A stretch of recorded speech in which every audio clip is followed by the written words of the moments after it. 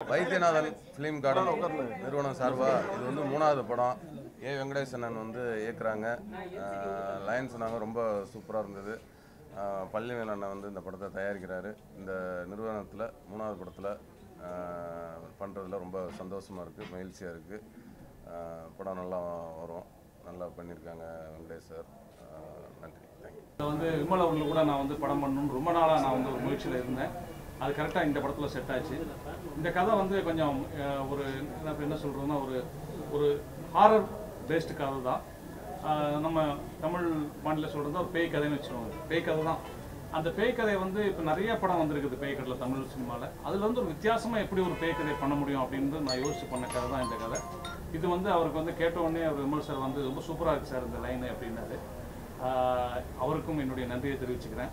இந்த படத்தில் வந்து தம்பி ராமையா சார் வந்து ஒரு முக்கியமான ஒரு கேரக்டர் பண்ணுறாரு அதற்காக தம்பி ராம சாரை வந்து மீட் பண்ணி அவர் கதை சொல்கிறப்போ அவர் அப்படி விழுந்து வந்து சிரித்து அவரே நிறைய விஷயங்களை அந்த கதையில் ஆட் பண்ணார். இந்த கதை வந்து நிச்சயமாக வந்து ஒரு நல்ல ஒரு என்டர்டைன்மான கதையாக வந்து மக்களுக்கு அமையணும்னு எனக்கு நம்பிக்கை இருக்குது இப்படி ஒரு வாய்ப்பை கொடுத்த பழனிவேல் சாருக்கும் விமல் சாருக்கும் என்னுடன் ப- பயணிக்க ஒத்துக்கொண்ட தம்பி ராமேஷ் சாருக்கும் இந்த தடவை நன்றி சொல்லி தெரிவிச்சுக்கிறேன். மற்ற டெக்னீஷியன் எப்போ படப்பிடிப்பு என்ன நான் வர வர ஒரு ஒரு ஓரிரு வாரங்களே வெளியிடுவேன். நன்றி. ரஜினி படத்துக்கு அடுத்து ஏ வெங்கடேஷ் சார் பண்ணுறாருன்னா இது ரஜினி படம் அண்ணாத்தை. ஏதாவது ஒரு போட்டு ரஜினி படத்துக்கு அடுத்து வி பழனிவேல் தயாரிக்கிறார். இதில் ஒரு சிறப்பம்சம் வைத்தியநாதன் ஃபிலிம்ஸ் அது ஒரு வி ஒரு வெங்கடேஷ் ஒரு வி தம்பி விமல் ஒரு வி ட்ரிபிள் வி கான்செப்ட் ஆ தேரை தேரை நகர்த்தும் தெய்வம் அவர்.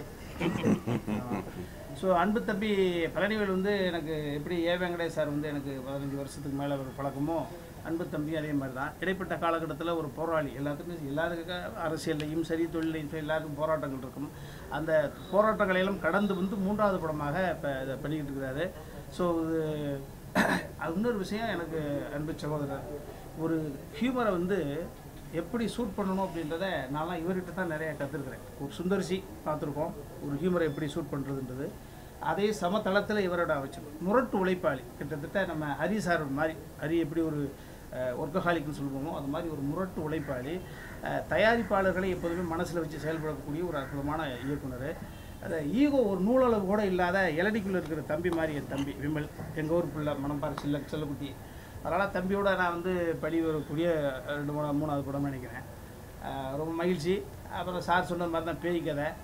வித்தியாசம்னு நம்ம சொல்ல முடியாது வித்தியாசமாக படம் எடுத்துக்கூட வித்தியாசம் தெரியும் அது ஏன்னா ஏற்கனவே ஜங்கிலி பூங்கிலி கதவை தோறன்னு ஒரு படம் அது ஹிட் படம் நிச்சயமா அதில் ஒரு பேய் கதையெல்லாம் நான் நடிச்சிருக்கேன். அது பேய்க்கு எப்படி தான் ரியாக்ட் பண்ணுறது எப்படி தான் பயப்படுறது? அதனால் இந்த இதில் அப்படி இல்லை. வேறு ஒரு அற்புதமான ஒரு கேரக்டரைசேஷன் கொடுத்துருக்காங்க.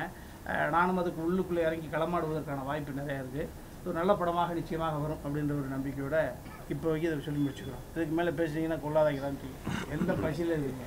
மகிழ்ச்சி.